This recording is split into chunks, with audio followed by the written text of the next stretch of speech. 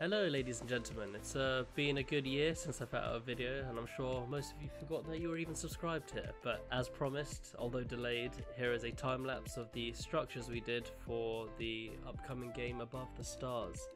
Hopefully I'll get back into this devlog and just general YouTube and social media stuff now that I'm working on the game again. And yeah, they're all pretty similar to the ships and uh, satellites thus far, so they're easily customizable in terms of the color scheme, and they've also got different levels, so you kind of unlock each um, model level in time to make them more grand and when they do more damage. I kind of forgot that I, uh, I, did this planning stage when I was just uh, roughing out models. Anyway, um, enjoy the time lapse and hope to get more content out soon. Hakuna Matata. Hakuna Matata. It means no worries.